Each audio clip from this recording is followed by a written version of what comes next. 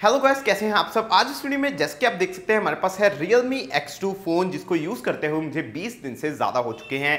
अब अगर आप इस फ़ोन के फीचर्स के बारे में जानना चाहते हैं, उसकी वीडियो ऑलरेडी मैं बना चुका हूँ, आप उस वीडियो में देख सकते हैं।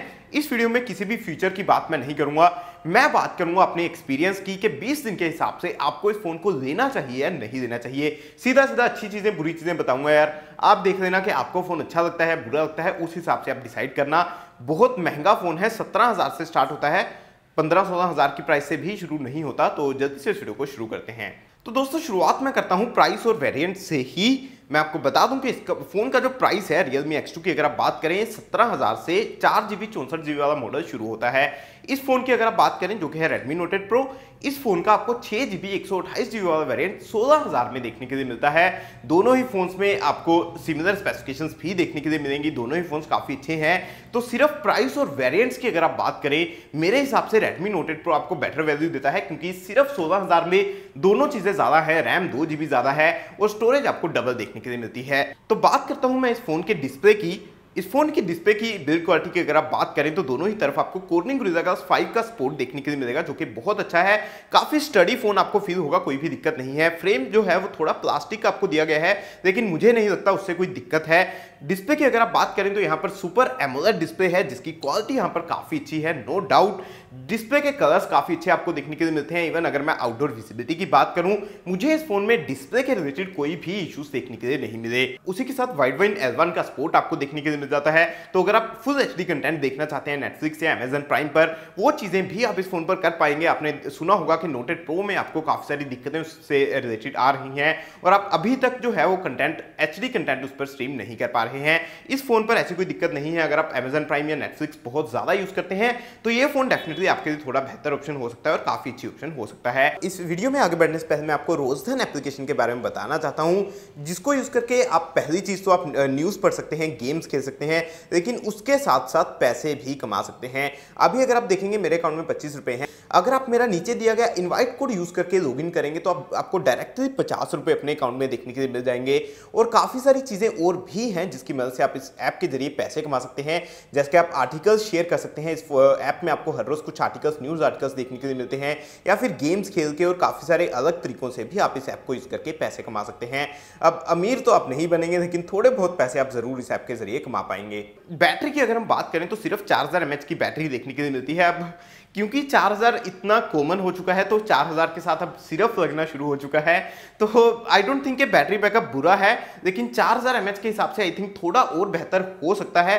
लेकिन आपको बिल्कुल भी घबराने की ज़रूरत नहीं है। अगर आप बैटरी के लिए सोच रहे हैं तो बिल्कुल भी सोचने की ज़रूरत नहीं है, क्योंकि इस फ़ोन में आपको 30 वोट की फास्ट चार्जिंग देखने के लिए मिलती है। चार्जिंग अडेप्टर आपको फ़ोन के बॉक्स में अंदर देखने के लिए मिलेगा। तो वो फ्लैश चार्जिंग है, बहुत ही तेज फ़ोन चार्ज होता है यार। अगर आप लगभग माने तो एक घंटा दस मिनट में आप फ़ोन को ज़ीरो से हंड्रेड तक चार्ज कर सकते हैं। तो ये बहुत ही तेज है और आधे घंटे की अगर आप परसेंटेज जानना चाहें तो साठ से ऊपर फ़ोन जो है वो सिर्फ़ आधे घंटे में ही चार्ज हो जाता है। तो चार्जिंग रिलेटेड कोई भी इश्यूज़ नहीं है, इससे मुझे लगता है कि अगर थोड़ा बैटरी बैकअप कम भी है तो भी आप इस फ़ोन के साथ अच्छे से टाइम निकाल सकते हैं, आपको कोई ज़्यादा दिक्कत फेस करने के लिए नहीं मिलेगी। इस फ़ोन में एक और बड़ी खासियत जो आपको देखने के लिए मिलती है, वो है इस फ़ोन की फिंगरप्रिंट सेंसर और फेशियल रिकॉग्निशन से रिलेटेड मैं आपको बता दूँ कि इस फ़ोन में जो है, वो इन डिस्प्ले फिंगरप्रिंट सेंसर आपको देखने के लिए मिलता है, और इसकी स्पीड की अगर मैं बात करूँ, ये बहुत ही तेज है। बहुत सारे फोन्स में जो फ़िज़िकल वाला फिंगरप्रिंट सेंसर होता है, उससे भी तेज है। मैं आपको लाइव डेमो यहाँ पर दिखाता हूँ। आप देख सकते हैं Realme X2 फ़ोन जैसे ही आप इस पर प्रेस करते हैं, बहुत ही जल्दी फ़ोन अनलॉक हो जाता है। दोबारा से दिखाता हूँ दोस्तों फ़ोन जो है वो लॉक्ड है। फिंगरप्रिंट का आइकन यहाँ पर आया, इसको आप प्रेस करेंगे और बहुत ही जल्दी फ़ोन जो है वो अनलॉक हो जाता है। आप देख सकते हैं दोस्तों, मेरे हिसाब से इन डिस्प्ले फिंगरप्रिंट सेंसर जितने भी मैंने यूज़ किए हैं, ये fastest in display fingerprint sensor है। फेशियल रिकॉग्निशन हालाँकि फास्टेस्ट मैं नहीं बोलूँगा, लेकिन वो भी काफ़ी अच्छे से यहाँ पर काम करता है। अगर आप उसको भी यूज़ करना चाहें तो काफ़ी अच्छे से एंजॉय कर सकते हैं इस फ़ोन में तो उन चीज़ों से रिलेटेड कोई भी दिक्कत मुझे यहाँ पर नहीं है। इसके बाद मैं बात करता हूँ इस फ़ोन के प्रोसेसर की दोस्तों, क्योंकि इस फ़ोन में स्नैपड्रैगन 730G दिया गया है। जो कि थोड़ा गेमिंग के लिए डिज़ाइन किया गया है तो काफ़ी सारे लोगों का ये मानना है कि गेमिंग के लिए तो भैया ये ऑटोमेटिकली बेस्ट फ़ोन हो गया है। मैं आपको ये चीज़ बहुत साफ़ साफ़ बताना चाहता हूँ दोस्तों, अगर आप पबजी के लिए कोई फ़ोन ले रहे हैं तो मेरे हिसाब से Redmi Note 8 Pro यहाँ पर बेटर ऑप्शन है। दोस्तों, मेरे पास ये दोनों फोन्स हैं। मैं बहुत टाइम से दोनों फोन्स पर गेमिंग कर रहा हूँ। मैं पबजी बहुत खेलता हूँ। अगर आप पबजी की मेरी वीडियोस देखना चाहते हैं तो एक और चैनल पर मैं पबजी की वीडियोस भी अपलोड करता हूँ। अभी बात करता हूँ मैं इस फ़ोन की यार तो मैं सीधी सीधी आपको दो चीज़ें बोलूँगा।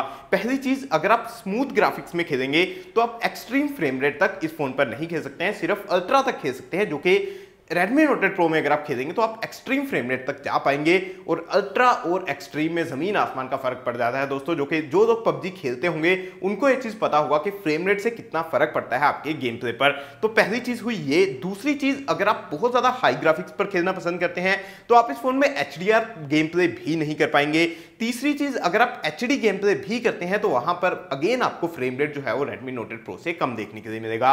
तो ये सारी चीज़ें मिला के अगर मैं सीधी सीधी बात आपको बोलूँ Redmi Note 8 Pro में जो MediaTek का Helio G90T दिया गया है, वो Snapdragon 730G से काफ़ी अच्छा परफॉर्म करता है एटलीस्ट जो ऑप्टिमाइजेशन की गई है, वो Redmi Note 8 Pro की काफ़ी बेहतर है as compare to Realme X2 तो पहले मैंने बोला कि अगर आप Netflix या Amazon Prime वगैरह देखना चाहते हैं तो ये फ़ोन आपके लिए बेस्ट है, लेकिन अगर आप गेमिंग करना चाहते हैं, अगर आप PUBG प्लेयर हैं तो मेरे हिसाब से Redmi Note 8 Pro, क्योंकि आपको छह जीबी वाला वेरियंट भी दे देगा उससे कम प्राइस में तो मेरे हिसाब से Redmi Note 8 Pro better option है।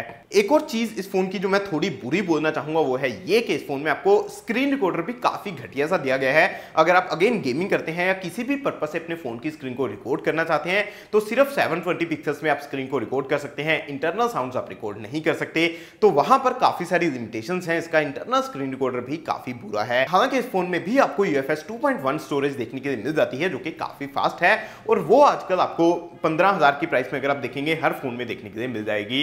इसके बाद मैं बात करता हूँ कैमरास की दोस्तों अगेन कैमरास में जो है, वो थोड़ा एक स्टैंडर्ड बन चुका है। आपके 64 मेगापिक्सल का कैमरा तो आपको हर फ़ोन में प्राइमरी देखने के लिए मिल जाता है। ऐसे ही आपको रेडमी Note 8 Pro में भी 68 64 मेगापिक्सल का कैमरा देखने के लिए मिलता है। प्राइमरी इसमें भी देखने के लिए मिलता है। तो उनकी परफॉर्मेंस तो आप मान सकते हैं कि अच्छी ही है, क्योंकि सेम सेंसर्स आपको देखने के लिए मिलते हैं। तो ज़्यादा डिफरेंस आपको देखने के लिए नहीं मिलता। हालाँकि इस फ़ोन में आपको चार कैमरास देखने के लिए मिलते हैं, जो कि अगेन Redmi Note 8 Pro में भी सिमिलर तरीके से आपको देखने के लिए मिलते हैं। पहला जो मेन कैमरा है, वो है 64 मेगापिक्सल का। दूसरा कैमरा यहाँ पर 8 मेगापिक्सल का आपको अल्ट्रा वाइड एंगल लेंस देखने के लिए मिलता है जिससे आप वाइड वाइड एंगल शॉट्स ले सकते हैं। दो मेगापिक्सल का आपको यहाँ पर मैक्रो शॉट दिया गया मैक्रो लेंस दिया गया है जिससे आप मैक्रो फ़ोटोज़ बड़ी ही अच्छी क्लिक कर सकते हैं। ये चीज़ मैं बोलना चाहूँगा दोस्तों कि जो दो मेगापिक्सल का कैमरा है, वो सुनने में लगता है कि मैक्रो लेंस क्या काम करेगा। लेकिन अगर आप मैक्रो फोटोग्राफी करना चाहते हैं तो एक्चुअली में वो दो मेगापिक्सल का कैमरा काफ़ी अच्छे से परफॉर्म करता है। चाहे आप जो भी डिवाइस लेना चाहें, हर फ़ोन की मैं बात कर रहा हूँ। उसी के साथ लास्ट वाला जो कैमरा है, दो मेगापिक्सल का डेप्थ सेंसर है, जो कि अगेन आपको थोड़ा पोर्ट्रेट फोटोग्राफी में हेल्प करेगा। अगर आप डेप्थ इफ़ेक्ट लेके आना चाहते हैं, उस चीज़ में हेल्प करेगा। तो ओवरऑल अगर मैं कैमरास की बात करूँ रियर कैमरा इस फ़ोन में अमेजिंग है, कोई भी दिक्कत आपको देखने के लिए नहीं मिलेगी। थोड़ी और स्पेसिफिकेशंस में अगर मैं चला जाऊँ तो आपको बता दूँ कि इसमें आप 4K 30 FPS तक शूट कर सकते हैं। स्लो मोशन अगर आप शूट करना चाहें तो 960 FPS शूट कर सकते हैं। अब इन चीज़ों की मैं बात ज़्यादा इसलिए नहीं कर रहा क्योंकि फीचर्स की वीडियो इस फ़ोन की मैं ऑलरेडी बना के पंद्रह मिनट की वीडियो पोस्ट कर चुका हूँ। अगर आप इस फ़ोन के सारे फीचर्स के बारे में जानना चाहते हैं, आप आसानी से वहाँ पर जा सकते हैं और पूरी वीडियो देख सकते हैं और आपको इस फ़ोन के सारे फीचर्स के बारे में पता चल जाएगा। एक और चीज़ जो इस फ़ोन में बड़ी ही खास है, बड़ी ही डिफरेंट है वो है ये कि इस फ़ोन में आपको फ्रंट में भी 32 मेगापिक्सल का कैमरा देखने के लिए मिलता है, जो कि आजकल पीछे की तरफ़ 48 और 64 के चक्कर में आगे का कैमरा कम किया जा रहा है। अगर आप रिसेंट कुछ फोन्स देखें तो आपको जनरली आगे की तरफ़ 12 या 13 मेगापिक्सल का कैमरा देखने के लिए मिलता है। जिससे बहुत बेटर क्वालिटी आपको इस फ़ोन में देखने के लिए मिल जाएगी, क्योंकि इसमें आपको 32 मेगापिक्सल का फ्रंट कैमरा भी देखने के लिए मिलता है। तो वो डेफिनेटली रियलमी ने एक बहुत अच्छी चीज़ की है इस फ़ोन में, जो कि मेरे को पर्सनली बहुत अच्छी लगी है। लास्ट चीज़, इस फ़ोन के सॉफ्टवेयर की भी बात कर लेता हूँ तो इस फ़ोन में आपको कलर ओएस 6.1 देखने के लिए मिलता है, जो कि एंड्रॉइड 9 पर वर्क करता है। अब जो है कलर ओएस काफ़ी बढ़िया हो चुका है। पहले के मुकाबले अगर मैं बात करूँ, अभी भी बेस्ट नहीं है। अभी भी मैं ये नहीं बोलूँगा कि स्ट्रोक एंड्रॉइड जितना स्मूथ है, या फिर एम जितना स्टेबल है।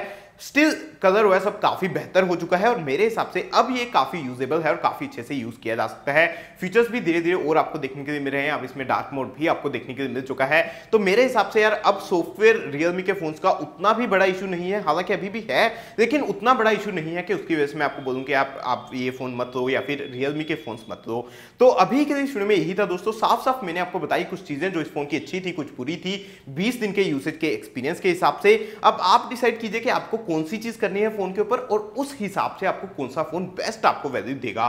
तो इस वीडियो में अभी के लिए यही था दोस्तों। अगर आपको वीडियो अच्छी तो उसको लाइक करना बिल्कुल मत भूलेगा और जिस ऐप के बारे में मैंने आपको अभी वीडियो में बताया, उसको अगर आप देखना चाहते हैं यूज़ करना चाहते हैं, उसका लिंक नीचे डिस्क्रिप्शन में दिया है। ज़रूर जाइए, उस ऐप को ट्राई कीजिए और पैसे कमा सकते हैं अगर आप उस पर डेली न्यूज़ पढ़ेंगे और शेयर करेंगे। इस वीडियो में यही था दोस्तों। अगर आप कुछ और वीडियोस देखना चाहते हैं तो हमारे चैनल पर नीचे कमेंट करके बता सकते हैं। मैं ट्राई करूँगा कि आपके लिए वीडियोस लेके आ पाऊँ। इस वीडियो को देखने के आपका बहुत बहुत धन्यवाद दोस्तों।